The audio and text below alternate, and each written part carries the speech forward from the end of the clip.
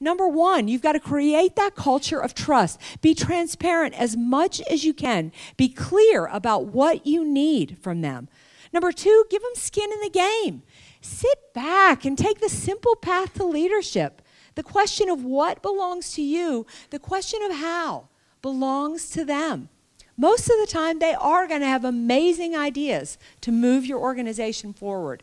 Number three, manage performance. Take the time to hold them accountable. Do what you need to do to get the dead weight off the team. And then give them support. Invest in them if you want them to invest in you. Look, I'm not going to kid you.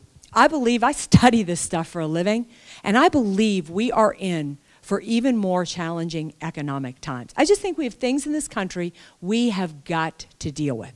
But at the same time, I believe this is one of the best economies to be successful in. If you understand the shifts, if you understand the secrets, if you embrace the fact we are not living in the same economic times. The customer has changed, the employee has changed, so your strategies on how you need to do business have changed.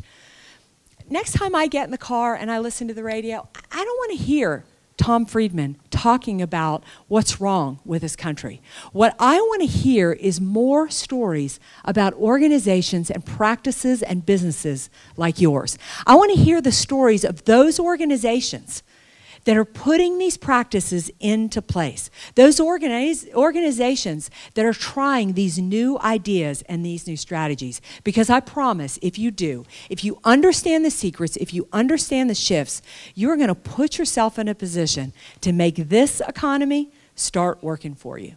Thank you.